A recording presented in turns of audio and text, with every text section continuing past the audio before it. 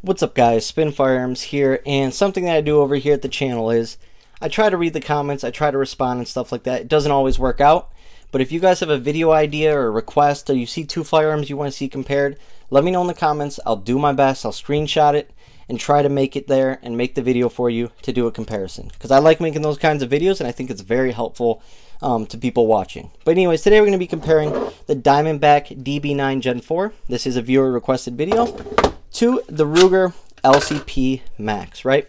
I just want to start off by saying hit the like button, drop a comment down below, and subscribe. Tell me your thoughts on pocket pistols. Tell me what you carry today, what kind of holster, what kind of ammo, and let's get right into the video. As you can see, the pocket holsters I am using, because I know I'm going to get questions about it. I can't find many pocket holsters for the Diamondback DB9 Gen 4. There's a lot out there for the Gen 3s. It was, if Vedder made it for the Gen 4, I'd be carrying in a pocket locker holster, or pocket locker holster. That is my go-to, the Vedder pocket locker holsters. I've been trying to talk to them about getting one for the Gen 4s, but they haven't made it yet. So I use the DeSantis Nemesis pocket holster. What I like is it's not flimsy, it keeps its shape, um, but yet at the same time, it is a soft holster, which I'm not a big fan of, but it does not interfere with that trigger, and it cannot interfere with that trigger. It's just made too well. Shout out to DeSantis. They make awesome pocket holsters. And then for my Ruger LCP Max, what I've been carrying this in lately is my, my Hog Holsters stash holster. Now, you wonder, why does it look like this? Well, that's a push-off tab, right? So when the firearm's in there, you just push it off into your pocket. And you see how that thing launches? It almost uses the retention as a way to pop it off. So like when it's leaving the retention, it flings that thing out of there, which I absolutely love. You know you're going to have no problem getting this holster off. And once again, that's made by Hog Holsters. Code SPN for 10% off to get one. They're super thin, very easy to not print with, and just a great overall choice for pocket carry. Now let's get into the firearms themselves because that's why you guys are here. As you can see, I love the stainless steel or tungsten look the most on firearms. That's why you see the Beretta like that. You see the Ruger like that. You see the um, what do you call it, PSA dagger like that. You see my Smith & Wesson M&P 40 compact that I'm carrying like that. That is my favorite color combo, and I think that's a great way to go for pocket carry, whether it's Cerakoted or just like a stainless steel slide, because of rust. You don't want to have rust issues, which Ruger is well known for having rust issues on their pocket pistols. The Diamondback DB9 Gen 4 is a 6 plus 1 setup. You can get the flush mag, or with the little pinky extension. Both are just 6 plus 1, but the difference is it's in 9mm and obviously plus P rated. The Ruger LCP Max is a 10 plus 1 or 12 plus 1 with the longer mag setup, but of 380.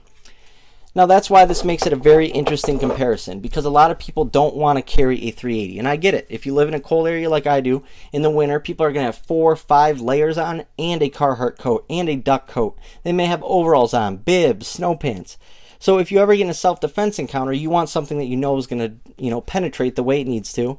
Um, and sometimes out of a short barrel 380, that can be hard um, unless you're using the right ammo. That's why I prefer Extreme Defenders in 380 from Underwood. They're the way to go.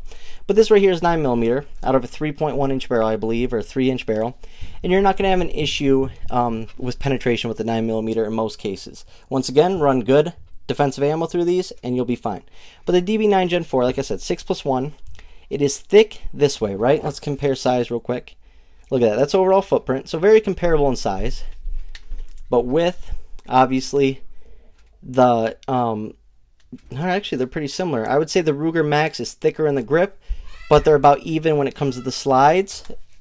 And then overall slide length and barrel length, you can see from the top it's going to be shorter. The Ruger is going to be shorter, right? And also, I would say when it comes down to the feel, I feel like the Ruger almost feels fake and like a toy, whereas the Diamondback does feel a little better built, in my opinion, but I could be wrong. The Diamondback is a metal trigger, which I actually really like. It's a little heavy, but very crisp, very defined, not a bad um, trigger at all. So we'll empty it real quick. It is clear. I mean, it's so crisp and is such a great shooting trigger. Now, a long reset, once again, this is a pocket pistol, but it's very fast. You can let that out because that trigger springs forward right away, and you can, you know, shoot to reset very easily. It comes with forward serrations that are great, rear serrations. I think the firearm itself looks absolutely awesome. Um, Ergonomics-wise, for being so thin and small, they did a great job. They made it wider, and it fits in your palm swell really well. You can get two and a half fingers on it with that pinky extension. Um, that beaver tail is great as well, prevents you from getting a slide bite. Um, and it also takes Glock sights. The number one complaint I've seen about these Diamondbacks is that this rear slide moves around or flies out the firearm. Nothing a little Loctite cannot fix. And like I said, it takes Glock sights, so you have unlimited sight options. Now, these aren't glow in the dark or tritium, but they are three dots with a U-notch rear. Good overall sights. If you watch my video of me shooting this winter with this Diamondback, and people always say, oh, I never see shooting videos. Guys, I have hundreds, if not thousands, of shooting videos up on my channel. You just got to look for them. But the shooting this Diamondback was absolutely amazing. You realize you can shoot it fast and very accurate, even from 30, 40 feet away. You have no problems with this thing. And that's what these are for. These are backup firearms meant to defend yourself. Now, last video I did was a 500 round review. I'm probably up at 700 rounds now, which is actually hard because you only have six rounds, right? So it's a lot of magazines you're reloading. But this thing has not given me one problem, not one issue, has ran every kind of defensive ammo through it, has ran every ball ammo through it, not a single hiccup. And I haven't been taking care of it with maintenance the way I should, but it runs great. Now, it takes down just like a Glock. Um, it's very snag free and just a great overall firearm, and you're still getting the power of 9mm, and 7 rounds of 9mm is probably enough to get you out of 90% of self-defense encounters. So it's a great way to go. Something I really like about the Diamondback is as a backup. You know you're having that 9mm power. You can still get a good grip on it. Um, the one complaint I would say is it is so thin, your finger protrudes to this side. So if your grip is like mine, you don't want your finger to get caught up on your support hand. So you just got to alter the way you shoot a little bit. Um, but it is what it is. That's that's how you adjust the different firearms in different situations and so on. The Ruger LCP Max is unbelievable. The capacity for its size is insane. So shout out to Ruger. On top of that, I would say the ergonomics aren't as good as the Diamondback, but for being so small, pretty darn good. The texturing is good. Um, I'd say the texturing is not as good as the Diamondback, but it's still pretty good.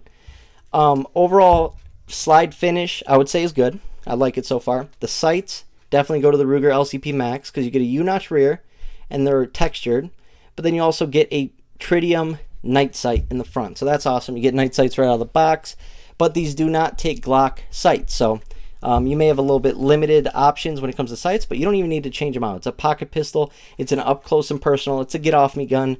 You're rarely ever going to be using sights. But the main thing about this firearm I love the most is capacity. Like I said, 10 rounds in that setup, so 11 rounds in your pocket's unbelievable.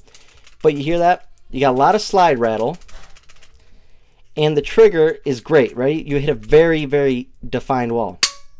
Great, I mean, great trigger for a pocket pistol. Unbelievable. You have a longer reset like all these pocket pistols do, but it's such a crisp, crisp trigger. Very defined, very audible, but once again, the firearm feels a little fake, and I don't like that rattle. Um, but once again, haven't had any issues with it. No reliability issue. Shoots everything so far. And I use Extreme Penetrators, um, the hollow point version, not the solid projectile, from Underwood out of this thing, and it runs them really well. Um, good serrations on it, both rear and the front. Obviously, no rail. No one's going to be putting a light on such a small firearm, even though you could, considering the capacity on this. Good trigger, just good overall pistol. I do think when it comes down to it, I do prefer the Diamondback. I'm just being honest. I like the way the Diamondback shoots, how fast it is, how little recoil, and for being 9mm out of such a small firearm, I really like that about that. And to be honest, I would take 7 rounds of 9 over 11 rounds of 380, in just my opinion. Do I carry the LCP Max? Of course I do. I love it still. I carry a lot of different firearms. Just depends on feeling, stuff like that. This is a great way to have deep concealment in certain areas and having no chance of printing. If you throw that 12 round mag in there and throw it in your pocket in a Vedder pocket locker holster or a hog holster stash holster, I mean, you're going to have such a small setup with so much capacity. 13 rounds in this tiny of a firearm is unbelievable. So you just can't, you know, you can't beat the capacity of the LCP Max. Um, but I do like 9mm a little bit better, and I just like the way the Diamondback shoots. But both are great firearms. You can unload this mag in two, two and a half seconds to completion and be accurate. Both are great firearms. Both great get off me guns, pocket pistols, whatever you want to call them. But I do give it to the Diamondback in my opinion because I haven't had any, any, issues with it. And once again, price the LCP Max you can find 350 to 400. Um, the Diamondback DB9 Gen 4 you can find anywhere from like 230 to 280, right? Um, so great overall firearm. I love this thing.